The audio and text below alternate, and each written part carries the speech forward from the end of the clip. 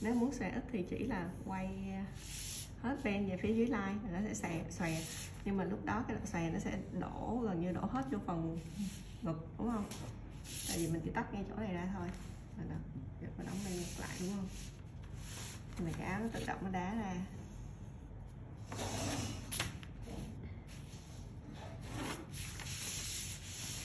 Là nó đã có đoạn xòe rồi. Nhưng mà lúc đó tại vì á mình đóng cái ben này lại thì giống như là mình đang mở cái đoạn ngay dưới đây ra thì đa số là nó sẽ mở xuống dưới. Nó sẽ xòe cái cái chỗ rũ đó là sẽ nằm ngay dưới ngực mình đúng không?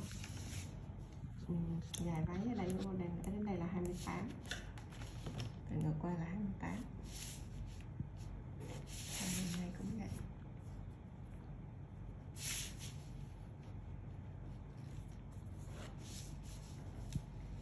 thì thường những mẫu váy xòe thì mình sẽ căng canh cho cái độ xòe của thân trước cái thân sau nó đều nhau một chút. Thì mình sẽ canh coi cái lai thân trước là bao nhiêu chỗ này là 20 thì phía sau cũng sẽ cho nó đá ra khoảng 20 thì đằng sau không có bên ngực, đúng không? Bắt buộc mình phải tắt. Thì thường sẽ thấp từ vai để bỏ luôn cái bên à, vai.